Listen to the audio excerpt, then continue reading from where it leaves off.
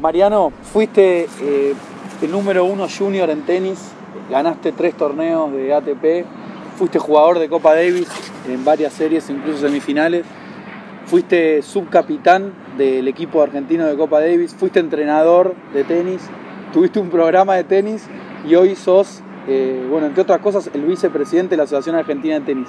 ¿Qué es lo que te hace volver una y otra vez en tu vida al tenis?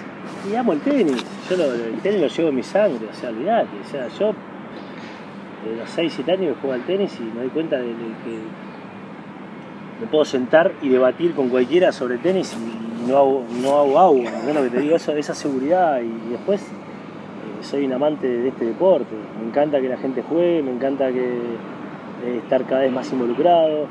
eh, sabía que era un despelote, yo estaba muy tranquilo en mi vida, mi mujer por suerte me dijo, mirá, la verdad que te banco porque sé que amás este deporte, pero no, te entiendo, me dijo, porque me ve viste a cuatro manos durante todo el día, porque esto es 7 por 7 el laburo de la asociación.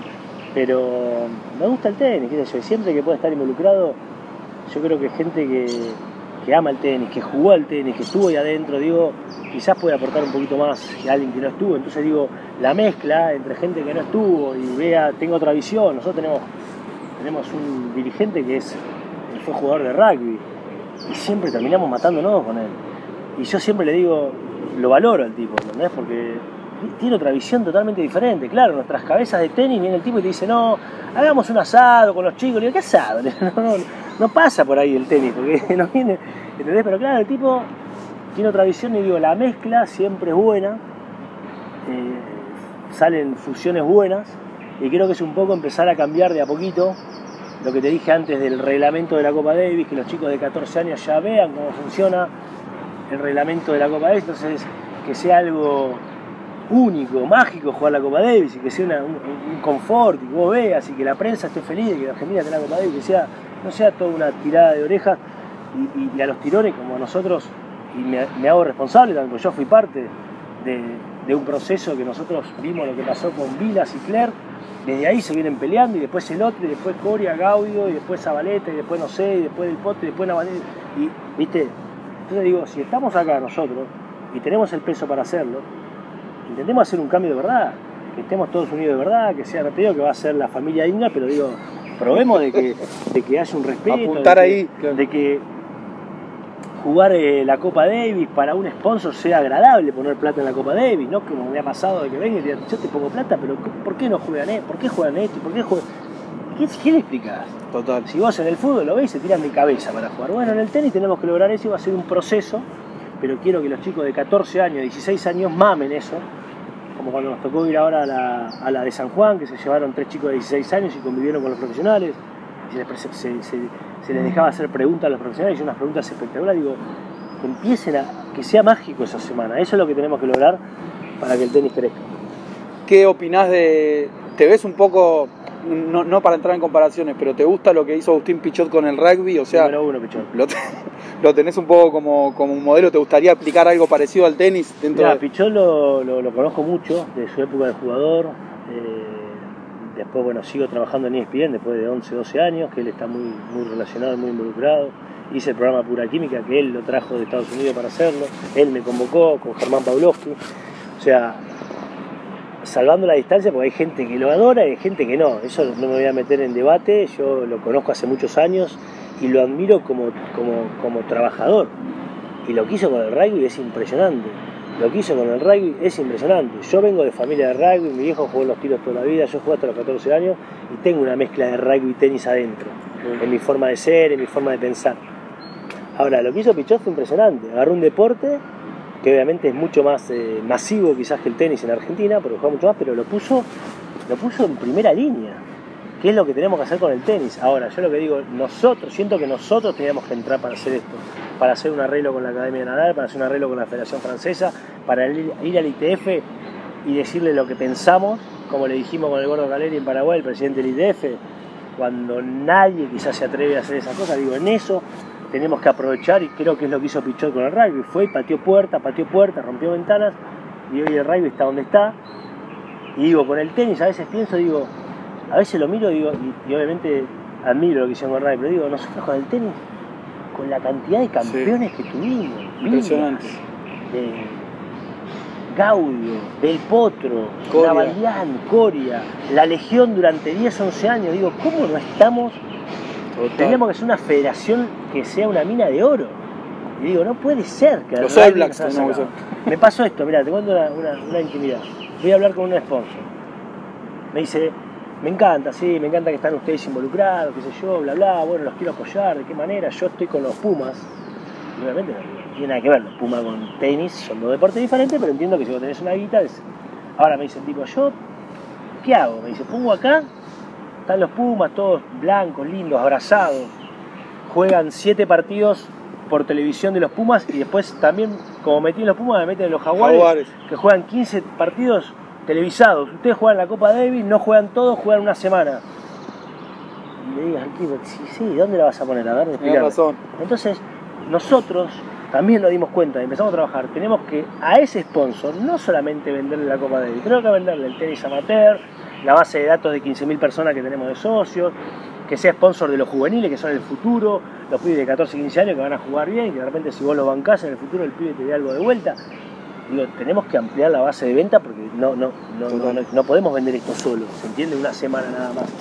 Entonces, eso es un poco lo, lo que nos sucede en general.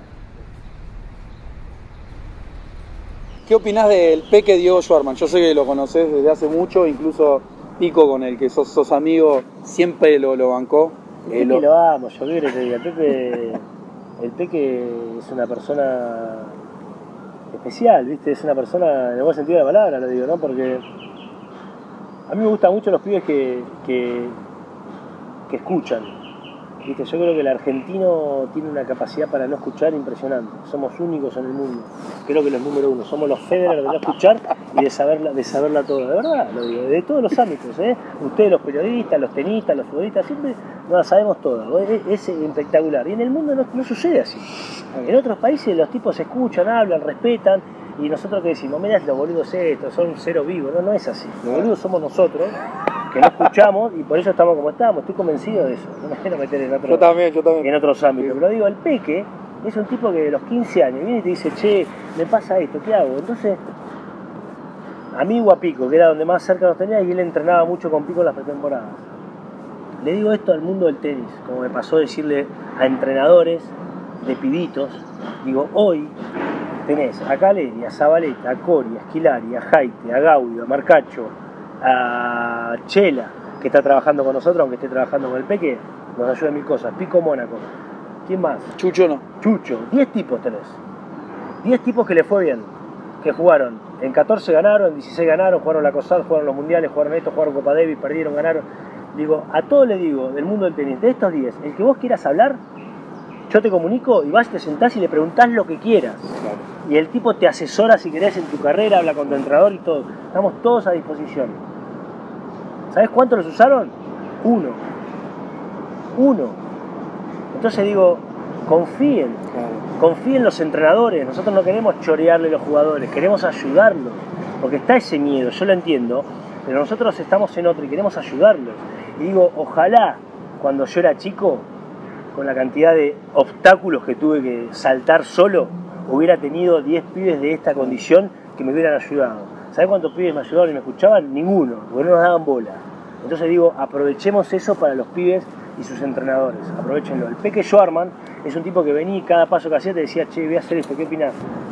Y vos por ahí le dabas tu opinión y después se decidía, el tipo eh, iba y ejecutaba. Pero por algo el Peque está, estuvo 11 del mundo, por algo está ahí de vuelta entre los 15 del mundo, por algo tiene un entrenador que el tipo fue, invirtió y no le sobraba un mango, fue, invirtió, dijo, Chela, bueno, dale, vení, Chela, Marcacho, no sé, bueno, no, no, con Marcacho no estuvo, eh, con Holguín, vamos, Holguín, viste, hacer un grupo. Con Piper, Prieto. Con Piper Prieto, digo, fue, invirtió el tipo. Y por eso, no, no te digo que siempre te va a salir bien, pero digo, apóyense. Digo, el Peque yo lo considero pela, es un tipo que mil veces me vino a decir, negro, me pasa esto, ¿qué hago? ¿Me entendés? Eh, y yo siempre voy a tratar de aconsejarlo para que sea número uno del mundo. ¿Entendés? No voy a tratar de aconsejarlo para que le vaya mal. Quiero que sea, y te estoy diciendo hace cinco años atrás, hacía televisión, yo no estaba en la federación. Entonces digo, desde ese lado creo que tenemos un patrimonio muy grande hoy para asesorar cuando Esquilari tiene que tomar una decisión, Esquilari me llamó tres o cuatro veces y me dice, mirá, hay un chico que quiere mandar, le digo, todo, fuiste ocho del mundo, le digo, no me preguntes más a mí, decidí vos. O sea, vos tenés la capacidad y la espalda para decidir y sabés el tenis más que nadie, le digo, decidí vos, eso es lo que a mí me está gustando de la asociación. ¿Me entendés? Lo que me llama el Cori y me diga, mirá, tengo, hice el estudio de 4.000 pibes y tenemos cuánto mide, qué sangre, qué esto y lo otro, que no teníamos una base de datos de nada, como federación. Entonces digo, ¿cómo no tenemos qué hizo Coria, por ejemplo, de los 10 años? ¿Cómo entrenó? ¿Qué comió? ¿Entendés? Francia lo tiene, Italia lo tiene, ¿entendés? España lo tiene, nosotros no lo tenemos. Entonces digo, sacamos unos jugadores impresionantes y si vos venís y decís, ¿qué hizo Coria a los 12 años? No tenés ni idea. Meter en Google a ver qué resultados tuvo, pero no sabemos cómo entrenó y entrenaba con la asociación, ¿eh? Entrenaba con nosotros, digo, de ese lado tenemos que mejorar y obviamente ser muchísimo más humildes todos para que esto funcione. Tenemos que bajar mil cambios, porque mismo cuando hablamos, no, ganamos la Copa Davis, sí, ganamos la Copa Davis, un equipazo y los pibes van a ser héroes toda la vida. Ahora, la Copa Davis, la Copa Davis tiene que haber ganado ocho veces, nueve veces de la Copa Davis. Entonces es malo el resultado si vos me decís que la ganaste una con la cantidad de jugadores que tuviste, finales, semi, la tenés que haber ganado 14 veces. Entonces digo, en eso le erramos y tenemos que ser conscientes en que le erramos ahí. No porque una funcionó, se unió el grupo y ganaron, y felicitaciones, y son los héroes, digo, no, nos quedemos con esa, porque la verdad que no fue bueno el proceso. Ahora, tenemos que hacer un proceso para que siempre funcione como cuando ganaron, ¿se entiende? Yo digo, desde ese lado, desde ese lado son muchas cosas las que estamos intentando unir, y ojalá que el día que nos toque irnos esté todo funcionando, que el que venga atrás se suba, prenda la llave y no como nosotros que prendimos la llave y explotamos por el aire. Mariano, ¿sos federista o nadalista? Sí, qué sé yo. La verdad que no, no, no, puedo elegir uno, porque los dos son, son de los personajes que le han dado, han nutrido al tenis desde un lugar, viste, como Connor, como McEnroe, ¿entendés? Si van a ser leyendas. A mí me, pone contento poder haber compartido con ellos eh, eh, muchos años de carrera, ¿no? Creo que más allá de los que te nombré antes, que son iguales que ellos, ellos rompieron todos los récords desde ganadores de Grand Slam, torneos, semana número uno, bueno, y todas esas historias. Federer es la perfección en vida, es el, el manual ¿Viste? Cuando encuentran las películas del pasado, que encuentran un manual con los mandamientos, bueno, eso es Pedro. Y Nadal es, el, libro a, la competencia, a la mentalidad ganadora, al, nunca rendirse, ¿entendés? ¿Se entiende? Sí, total. Y son dos ejemplos de vida, no solamente para el tenis, son dos ejemplos de vida para... Me tengo que me quedo con Nadal porque lo conozco desde que tiene 13 años. Yo era muy amigo de Charlie Moya y me la pasaba en Mallorca entrenando con él y Nadal estaba ahí con la raquetita, ¿viste? Y, Moya me decía, este chaval no sabe cómo juega, no sabe cómo juega, es una bestia. Y bueno, si tengo que elegir me quedo con Nadal. ¿Por qué crees que a la Next Gen le está costando tanto hacerle buen... ya le están haciendo buenos partidos, pero ganarles a ellos o ganarles a Slams? Yo creo que es, eh, Escuché declaraciones de algunos jugadores que obviamente tienen su visión, como Marat Safin, que es un amigo, que dijo es porque son muy malos los Next Gen son malos. Yo creo que yo creo que Nadal, Federer y Djokovic son extremadamente buenos. Entonces, el mejor nivel o el mejor eh, o el mejor eh, Zverev no le gana a Federer, Nadal y Djokovic 7 puntos. Porque es así, porque es demasiada la diferencia casualidad de la vida y son tipos tocados con la varita. Son como que esté Messi, Iniesta y Ronaldo. Y los demás, no sé qué decirte. Hay un montón que son buenísimos, pero no van a llegar nunca a hacer 400.000 goles como hizo Messi y Ronaldo. Y si se cuidan con la medicina y con la comida como esta ahora, van a jugar hasta los 40 años. Y en serio está pasando eso. Realmente con 30, tiene 35 años, no es, no es tan viejo. Eh, Djokovic tiene 32 Federer sí es más grande, pero tiene estilo de juego, tienen que entender también que no hace tanto esfuerzo. Todo el tipo obviamente que es un tocado, y después de mentalidad, son tan buenos y ya están tan acostumbrados a resolver cosas difíciles fáciles, que es muy difícil que Zverev, Tsitsipas, y no me acuerdo que otro más, o Rublev, aprendan a ganar un gran slam. ¿entendés? A estar ahí o a resolver esos. Tienen demasiada diferencia todavía los, los tres eh, primeros. ¿Qué opinas de Nick Kirgios? Kirgios por momentos me parece un pavo y por momentos me parece divertido. Y a veces discutí con Gastón la otra vez mil veces, Gastón me dice es un pavo, hay que echarlo. Le digo, pero a veces el tenis se torna un poco aburrido, ¿viste? Cuando entra como en una, ¿viste? En una olla, digo, que venga un loco así, que haga un poquito. A veces se pasa de rosca porque yo entiendo, McEnroe hacía quilombo, pero no faltaba el respeto al, Se le agarraba con el árbitro, con la gente, era como más showman. Y Kirgios a veces falta el respeto al, al contrincante y eso lo veo mal. Está bien ahora que lo tienen ahí en la mira y está cansado de pagar multas, pero en definitiva ves a todo un montón de pibes hablando de Kirgios, hablando de Kirgios y digo, a veces al tenis siento que le falta eso un poco de alguien que venga y mueve la vispera un poquito, exactamente. Creo que fuiste un, iluminado con el tema del programa Tenis Pro. Con Omar eh, éramos fanáticos y, incluso hay gente que hoy se acuerda o te, te hace che, ¿te acordás del capítulo? Eh, primero, preguntarte, bueno, ¿cómo se te ocurrió? ¿Qué significó para vos eso? Y bueno, replicarlo también un poco en lo que hacemos nosotros eh, con el tema de la trinchera, de, mostrar el backstage de un Challenger o de un Future. Es, diferente el nivel, pero es un poco la misma idea. Yo te vi lo que hiciste, te soy sincero, te lo dije a cómo se ve, y no para, chuparte la media porque no te conozco. pero te vi lo que hiciste por Instagram y de todas las cosas que he visto fue lo que más me gustó. Lo haces, lo haces, eh, tenés ahí una cosita, no sé qué si lo haces hace rato, ese carisma, eso que se necesita para, para agarrar a tres Volvoy y hacer algo divertido con tres Volvoy, que, que quizá el tenis a veces digo se torna un poco aburrido, mostrar cómo jugó, ir el jugador a la conferencia, no, bueno, jugué bien, y cómo jugaste, digo, nosotros cambiamos un poco eso, cuando se, se nos ocurrió hacer fue, a mí me llamaron para hacer unas notas de televisión, para hacer una nota a Gaudio, a Chela y otros más. Le hice las notas y nosotros habíamos salido las camaritas de mano en ese momento, no existían las redes sociales, no existía nada. No, me acuerdo, me acuerdo. es un, es un, tenis pro de cada uno, personal de cada uno, yo soy un tenis pro. y en ese momento grabábamos mucho, entonces cuando vine a Argentina les hice las notas, había un productor de televisión llamado Cardinale que me llamaba, me mandaba mails y yo no le contestaba porque yo estaba, tenía 23 años, jugaba al tenis. El tipo me decía, vos tenés que hacer televisión, vos tenés que hacer televisión. Yo digo, pero ¿de qué habla este tipo? Me lo crucé por la calle, un loco barro, me dijo, tenés que hacer las notas. Bueno, cuando hice las notas, le hice la nota a Chela, Chela cuenta de que en India había un zoológico, había estado dando un elefante, qué sé yo. A la noche me llama Chela y me dice, che, lo tengo grabado, ¿querés que te lo dé el cassette? Entonces lo llamé al pibe y le dije, che, está grabado eso. Cuando está grabado, vi el programa en la tele, vi la nota, vi lo de Chela, lo llamé al pibe y le dije, tenemos que hacer grabaciones nada más. Sí, pero no sé, porque Fox no va a querer. Bueno, Fox no quería, quería mandarnos un tipo con la cámara, le dijimos que no, aceptó, nos dio tres meses de prueba Fox y después se terminó haciendo cuatro años. El programa Tenis Pro, que fue un poco romper con eso que te decía, del tipo jugando.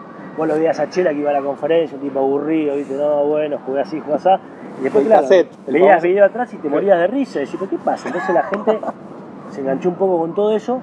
Y cuando empecé a hacer pura química, en ESPN, después de jugar al tenis, una vez vino Suar al programa. Que fíjate, busquen la nota. Y el tipo le preguntan, no conocí si Suar o Repeto, creo que Suar, creo que era Suar y el tipo habla de formatos de televisión y dice que él en su productora, cómo se llama, cuando entras en la oficina donde se definen los proyectos, tenés tres formatos de televisión pegados en la pared. Y uno es formato pindongo, formato tenis pro y formato no sé qué. ¿Entendés? Que él dice, dice, ustedes inventaron un formato de televisión porque no existía. No es joda. Estoy de acuerdo. Y aparte, dice, yo los veía y ustedes mismos se editaban, porque a veces grababan y decían esto no va, esto va, y es verdad, nosotros grabábamos, por ejemplo, que sé yo, y decían, no, bueno, mira la mina esto no va, decíamos, viste, para cortar, viste, y se lo mandamos así a Agustina, que era nuestra editora, editaba y pasaba. Así fue la maravilla de Tenis Pro. Me siguen mandando mensajes, me siguen preguntando por el Zapatero de Italia, que fue uno de los mejores capítulos. Eh, nos siguen tentando económicamente eh, para hacerlo, que, que siempre dijimos que no, pero lo tengo a Chela ahora empezando con un par de ideas que algo quiere hacer, pero nada, lo tuyo seguí con eso porque me encantó y me parece que es muy divertido lo que haces y por ahí te dije, vos lo haces por historias de Instagram, llevarlo a algo más, a un, eh, a YouTube, no sé cómo se sí, meterlo ahí, como hacer capítulos, me parece que es divertido. Es la idea. Bueno, Mariano, muchísimas gracias. Gracias a ustedes. Eh, de parte de Bea Tenis, eh, te, considera- te- te damos el, el título de un miembro de la trinchera Miembro por la por la pasión que tenés y por el amor que tenés por el tenis, la verdad. Bueno, te gracias. felicito y ojalá les vaya bien con la asociación. Nosotros vamos a estar ahí para Gracias, criticar si tenemos que criticar y, apoyarlos. Esto es democracia absoluta, así que puede- se puede hablar y decir lo que quiera. Gracias. Dale, Leo. gracias.